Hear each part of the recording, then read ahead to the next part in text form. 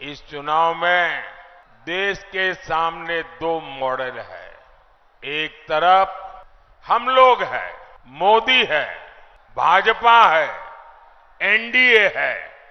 हम लोगों का रास्ता क्या है? हम लोगों का रास्ता है संतुष्टिकरण। हर किसी को संतुष्ट करना, संतोष देना।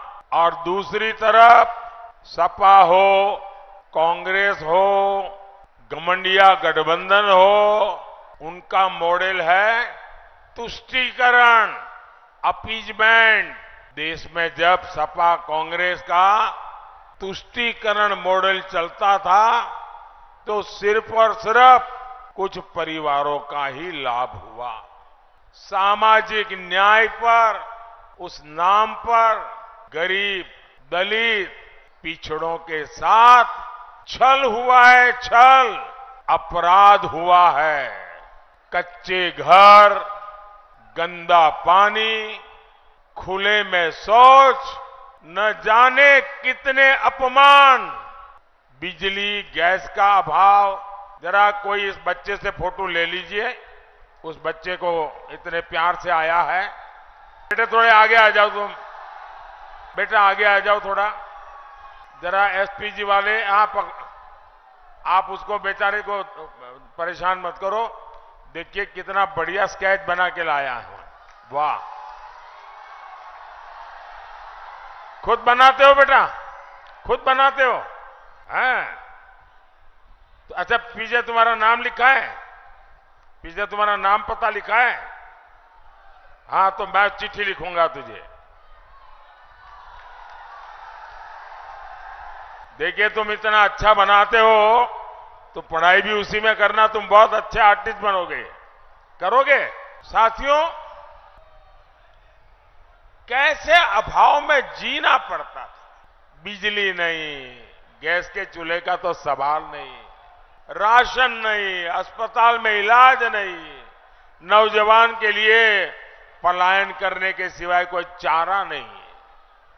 और वो वहाँ जहाँ जाते थे वहाँ भी चैन से नहीं रह सकते थे।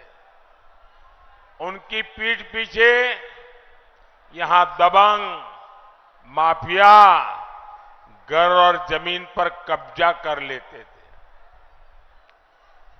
जब वापिस आते थे तो घर पर कोई और बैठ जाता था।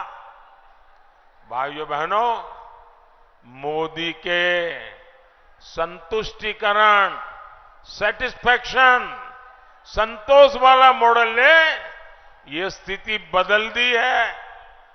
यूपी में भाजपा ने ज़मीन माफिया। ये जो उद्योग चल रहा था ना, ज़मीन माफिया की कमर तोड़ दिए कमर।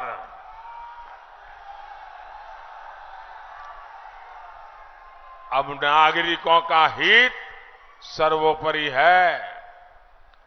जो जौनपुर में राशन कार्ड बना है, अब उसी पर मुंबई जाओ, सूरत जाओ, हैदराबाद जाओ, मुफ़्त राशन उस पर मिल जाएगा। क्योंकि मोदी ने one nation, one ration card लागू कर दिया है। यहाँ यूपी में 50 लाख पक्के घर लाभार्थियों को मिल चुके हैं। इसमें से एक लाख घर यहीं ये जौनपुर ज़िले में मिले हैं।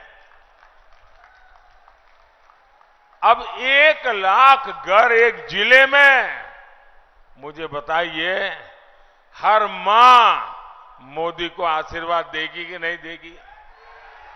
देगी कि नहीं देगी?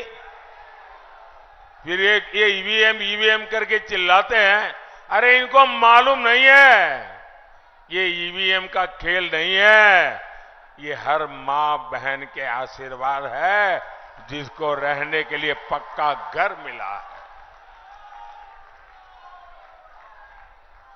और मुझे कभी कभी मौका मिल जाता है तो मैं इन लाभार्थियों के घर में जाके देखता हूँ। इनमें शौचालय नल से जल, बिजली, सस्ता सिलेंडर, ये सारी सुविधाएँ घर के साथ होती हैं, सिर्फ़ चार दीवारें नहीं, घर यानी पक्का घर। और ज़्यादातर घर, हमारे समाज का रिवाज कैसा है? मेरी माताएँ बहनों को ज़रूर बता देना। मेरी ये बात ज़रूर बता देंगे आप लोग। हमारे यहाँ परंपरा क्या थी? घर है तो पति के नाम। ये क्या बढ़िया मोदी योगी बना लाए हो भाई। और ये मोदी तो इतना सुंदर लग रहा है। क्या बढ़िया मेकअप किया है भाई। और हाथ भी बढ़िया। वाह। दोनों मोदी योगी बन के आ गए।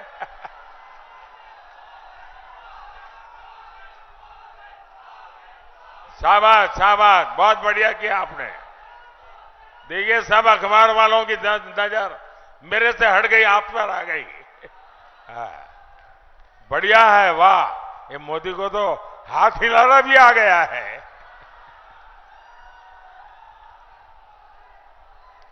अच्छा माताएँ, बहनें, सुनिए। भाई, उन बच्चों को बिठाइए, परेशान मत कीजिए। मैं उनका बहुत आभारी हूँ। देखिए, हमारे समाज में कैसा रहा? घर है तो मालिक कौन? कोई पति या पुत्र? दुकान है तो मालिक कौन? पति या पुत्र? गाड़ी लाए तो मालिक कौन? पति या पुत्र? खेत है तो मालिक कौन? पति या पुत्र? हमारी माताओं बहनों के नाम पर कुछ नहीं। ये मोदी ने कह दिया, नहीं चलेगा। और इसलिए मोदी जो घर देता है ना, वो महिलाओं के नाम पर देता है। और मैंने तो तय किया है, मैं तीन करोड़ लखपति दीदी बनाने वाला हूँ। तीन करोड़ लखपति दीदी। और मैं आपको एक और गारंटी दूँगा जिनको अभी घर, गैस, पानी का नल नहीं मिला है। मेरा एक काम करोगे आप लोग? हाथ ऊपर करके सबके सब बताओ तो बोलूँगा। मेरा एक काम करोगे? पक्का करोगे? जरा हाथ ऊपर करके बताइए। मेरा एक काम करोगे? देखिए, इस चुनाव में आप जहाँ जहाँ जाएँगे और हो सकता है किसी गाँव में एक आध दो परिवार ऐसे मिल जाए जिनको अभी पक्का घर नहीं मिला है, किसी को नल से जल नहीं मिला है, किसी को गैस का कनेक्शन नहीं मिला है तो उसका नाम पता लिख करके मुझे भेज दीजिए। और उसको कह देना कि मोदी जी ने गारंटी दी है कि चार जून के बाद जब तीसरी बार सरकार बनेगी तो जिनको अभी घर मिला नहीं, उनको मिल जाएगा। जिनको गैस नहीं मिलेगा, मिल जाएगा। ये मेरा काम करोगे? मुझे सबको देना है। क्योंकि मेरे लिए तो ये माताओं बहनों की पूजा है। भक्ति है मेरी। ये भक्ति मैं करूँगा और प्रसाद मैं चढ़ाऊँगा उनके लिए पक्का घर। ये मेरी भक्ति है।